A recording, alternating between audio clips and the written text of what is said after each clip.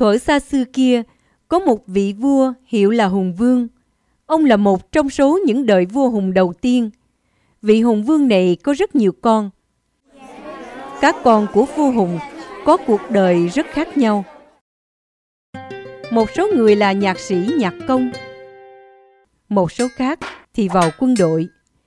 Riêng Tiết Liêu thì lại chọn cho mình một cuộc sống đơn giản, đó là làm nông dân trồng lúa. Một ngày kia, vua Hùng ban ra một thánh chỉ. ta muốn đưa ra thử thách cho các con trai của ta. Mỗi người trong số các con phải làm ra một loại thức ăn ngon nhất và bài cổ đẹp nhất cho ta thưởng thức.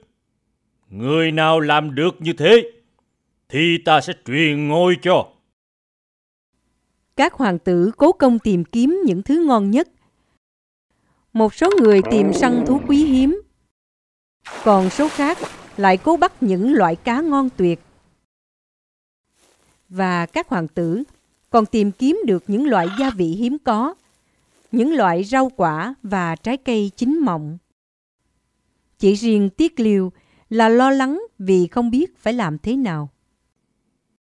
Mình không có giàu được như các anh. Mình không thể mua được những củ ngon vật lạ. Vụ thu hoạch đã sắp đến. Mình không còn thời gian để chu du khắp nơi tìm củ ngon vật lạ. Mình chỉ có thể dùng chính loại gạo mà mình trồng để mà làm bánh thôi.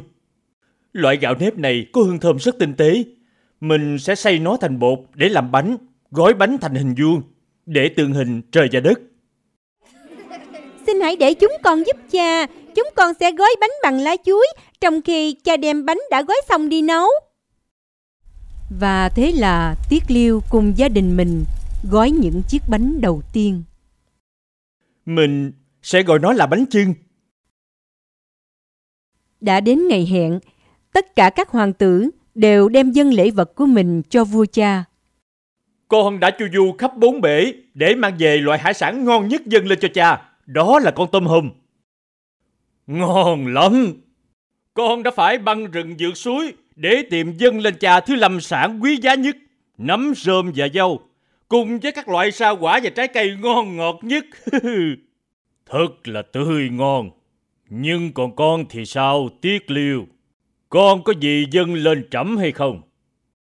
Con chỉ có một bánh chưng đơn giản dâng lên phụ hoàng. Tiết Liêu đúng là một tên ngốc. Chúng ta đã cất công tìm kiếm các món ngon vật lạ suốt bao nhiêu ngày trời. Vậy mà Tiết Liêu chỉ mang đến một món hết sức đơn giản. Quá tầm thường.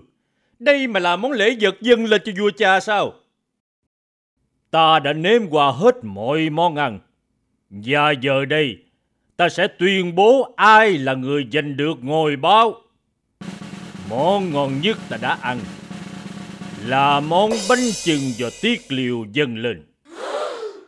Món bánh gạo nếp này rất là thanh khiết và giàu ý nghĩa. Là thức ăn mà nhà nào cũng có. Tiết liều, con đã thể hiện được trí thông minh tuyệt vời và am hiểu đời sống của thần dân trăm họ. Vì vậy, ta tuyên bố nhường ngôi báo lại cho con. Và thế là Tiết Liêu lên ngôi vua. Mỗi năm đến Tết, chúng ta lại ăn bánh chưng và kể cho nhau nghe câu chuyện này để nhớ đến tầm quan trọng của món bánh chưng.